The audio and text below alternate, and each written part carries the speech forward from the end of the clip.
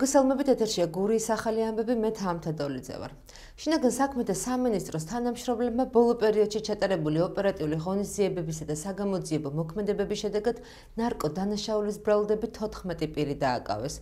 მათ შორის 7 ნარკორეალიზატორია. ოზურგეთის მუნიციპალიტეტში ბრალდებული მამაკაცის ავტომანქანისა და საცხოვრებელი სახლის ჩხრეკის შედეგად ნივთმტკიცებად ნარკოტიკული საშუალებები, მეტადონი, სუბოტექსი და მარიხუანა ამოიღეს. ასევე ნივთმტკიცებად ამოღებულია პისტოლეტი, ჭიდი და სამი ვაზნა. ჩოხატაურის მუნიციპალიტეტში ამაღლებისა და სამების დამაკავშირებელი გზის რეაბილიტაცია დასრულდა. სამუშაოები რეგიონებში განსახორციელებელი პროექტების ფონდიდან დაფინანსდა და ჯამურმა ღირებულებამ 327883 ლარი შეადგინა. პროექტი გარდამავალი იყო. გასულ წელს ასფალტის საფარი დაიგო გზის 900 მეტრიან მონაკვეთზე. წელს კი რეაბილიტირდა 400 მეტრიანი მონაკვეთი. სამუშაოები ჩოხატაურის მერმა დავით შარაშიძემ სახელმწიფო რწმუნებულის ადმინისტრაციისა და ადგილობრივი თვითმმართველობის წარმომადგენლებთან ერთად მოინახულა. რეგიონებში განსახორციელებელი პროექტების ფონდიდან ვაგზელებთ დასრულებული საგზაო ინფრასტრუქტურის მონახულებას. ჩვენ ვიმყოფებით ამაღლების ადმინისტრაციული ერთეულში სადაც დასრულდა ამაღლებისა და სამების შემაერთებელი გზის მონაკვეთი. ეს იყო ორეტაპიანი პროექტი. გასულ წელს 900 მეტრიან მონაკვეთზე დაიგო ასფალტის საფარი, ხოლო წელს უკვე 400 მეტრიან მონაკვეთზე დაიგო ახალი ასფალტის საფარი და პრაქტიკულად დასრულდა უკვე აღნიშნული პროექტი. აღნიშნული პროექტი დაფინანსდა 327000 ლარით, ასევე ამ მონაკვეთების ორივე ცენტრალურ გზასთან შეერთებისთვის დარჩენილი გვაქვს 300 მეტრიანი მონაკვეთი, რომლის პროექტირება უკვე მიმდინარეობს და სულ მალე დაიწყება სამუშაოები. მინდა რეგიონალური განვითარებისა და ინფრასტრუქტურის სამინისტროს, ასევე ფინანსთა სამინისტროს უთხრა მადლობა ჩოხატაურის მუნიციპალიტეტის მხარდაჭერისთვის. ცვლილებებისა და ინოვაციების ინსტიტუტმა ლანჩხუთში მორიგი ტრენინგი გამართა. ტრენინგი ლანჩხუთის მუნიციპალიტეტში მცხოვრები ქალებისთვის იყო განკუთვნილი და ის სოფლის მეურნეობის ასოციაციის წარმომადგენელმა ანდრო ხეთერელმა ჩაატარა. ტრენინგის მთავარი თემა გურიის რეგიონისთვის ნაცნობი და ასევე პერსპექტიული სოფლის მეურნეობის კულტურები, მათი მოვლამოშენება და ამ მიმართულებით საჭირო რეკომენდაციები და რჩევები იყო. ტრენინგი ჩატარდა პროექტის სოფლად მცხოვრებ ქალთა გაძლიერება კლიმატის ცვლილებებზე ორიენტირებული სოფლის მეურნეობის მედეგობის გაზრდისა და ეკონომიკური ინტეგრაციის ხელშ შეწყობისთვის ფარგლებში. სერია ტარდება ინოვაციების და ცვლილებების ინსტიტუტის პროექტის ფარგლებში და ტრენინგების თავარი მიზანი არის გურიის რეგიონისთვის პერსპექტიული და ძირითადი სასოფლო სამეურნეო კულტურების წარმოებასთან დაკავშირებით საჭირო ინფორმაციების, ინფორმაციის და რეკომენდაციების გავრცელება ფერმერთა თემებში. ხელოვნების გაკვეთილი საკლასო ოთახს გარეთ ოზურგეთის მეოთხე საჯარო სკოლაში მეექვსე მეორე კლასელებმა პედაგოგთან ეკატერინე ოსტროვსკისთან ერთად წარმოადგენეს გაკვეთილი ნიკო ფიროსმანისადმი მიწყვნილი. მოლბერტმა სამხატრო ტილო, ფუნჯებმა, პალიტრამ და კარგმა მუსიკამ განწყობა შექმნა. საგაკვეთილო თემა, რომელიც საკლასო ოთახის ჩარჩოებს გასცდა, ნომერ მეოთხე საჯარო სკოლის ხელოვნების პედაგოგმა ეკატერინე ოსტროვსკიმ მეექვსე მეორე კლასელებთან ერთად ფიროსმანს დაუთმო. ბავშვებმა შემაჯამებელ გაკვეთილამდე ფიროსმანის რეპროდუქციები შექმნეს.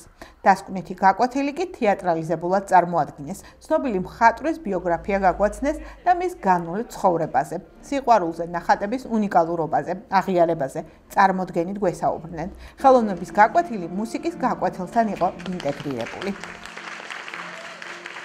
ძალიან საინტერესო იყო დღევანდელი დღე ჩვენი ნახატები, ჩვენი გამოფენა, სპექტაკლი.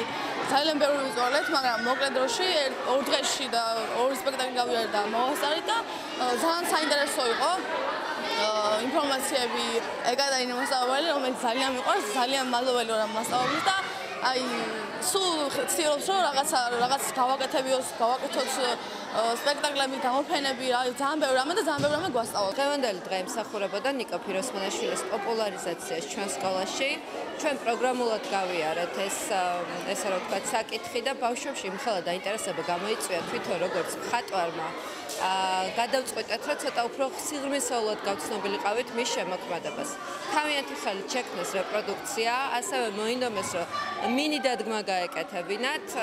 ვიცოდეთ ყველანაირად, რომ საინტერესო ყოფილიყო მაყურებლისთვის მოკლე და მარტივად მისაწოდებელი და მგონი შედეგზე გავედით და მიზანს მივახციეთ. ბავშვებს რაც შეეხება, ამ პროცესი ძალიან ისიამოვნეს და აი ძალიან დიდი мотиваცია იყო მათთვის, აი ის მომენტი, რომ მათი ნამუშევრები გამოიფინებოდა, ის რომ საზოგადოება აი ამ თავიანთ შრომას ნახავდა და დააფასებდა. არაფორმალური გარემო ხელს უწყობს და არაფორმალური აქტივობები ხელს უწყობს გაკვეთილზე მიღებული ცოდნის აქტიურად გამოყენებას და უკვე პირობისეულ ცოდნაში გადაზრდას და დღეს როდესაც ჩვენ მოსწავლეთა ჰოლისტურ განვითარებაზე და ჰოლისტურ აღზრდაზე ვსაუბრობ, სწორედ ასეთი აქტივობები როდესაც გამოვდივართ საკლასო ოთახიდან, ხელს უწყობს აი ამ მოსავლის მთლიან პიროვნულ განვითარებას და აქ თქვენი ხილეთ ნახატები, რომლებიც მოსავლეთა ხელით არის შესრულებული, ეს ნახატები დარჩება და გამოფენა სკოლაში თავისთავად მომავალ კვირაში ფუნქციონირებს. მადლობა მინდა ვუთხრა ქალბატონ ეკატერინე ოსტროვსკის, რომელიც ძალიან საინტერესო აქტივობებს ახორციელებს მოსავლეთა ესთეტიკური აღზრდის თვალთახედვით და მსგავსი აქტივობები კიდევ ხშირად დაიგეგმებოდა განხორციელებად. ახლა კი ჩვენს ეთერში სტუდია ვაშინგტონის დროა.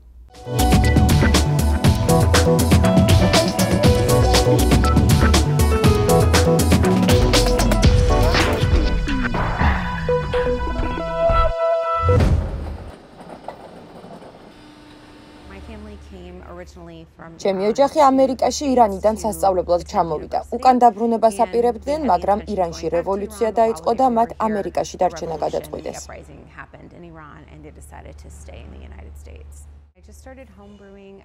სახლში ისეთი ლუდის ხარშვა და რეცეპტების შექმნა დავიწყე, რომლებსაც დიდწილად ახლო აღმოსავლეთის გემოების გავლენა ჰქონდა.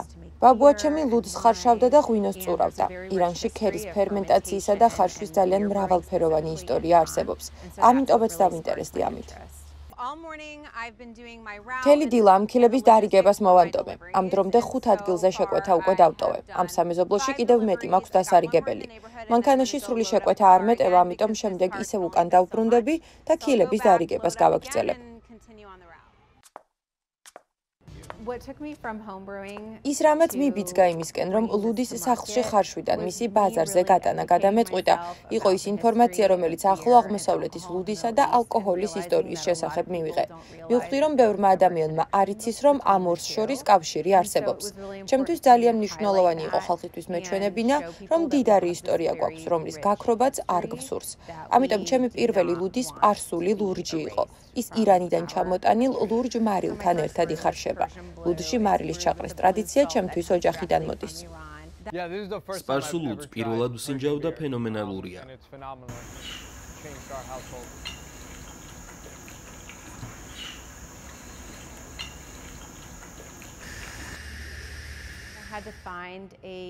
ისეთი ლუდსახარში უნდა მომეძებნე, რომელიც მე და ჩემს რეცეპტებს მიგვიღებდა, რადგან საკუთარი ლუდსახარში არ მაქვს.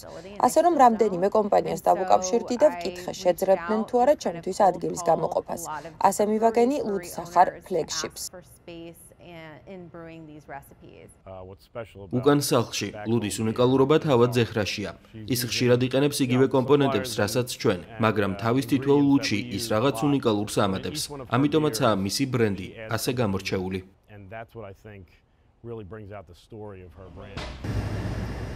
The core beers that I have სამი მთავარი ლუდი, რომელიც მაქვს სპარსული ლურჯი, სუმაკ, გოზი და ნარინჯისფერი ყვავილობა. ყველა მათგანის ქილის დიზაინი ახალგაზრდა ირანელი ქალის შექმნილია, რომელიც თეირანში ცხოვრობს.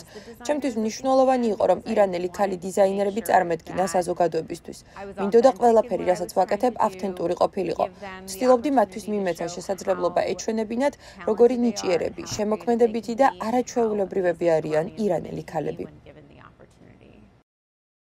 დღეისათვის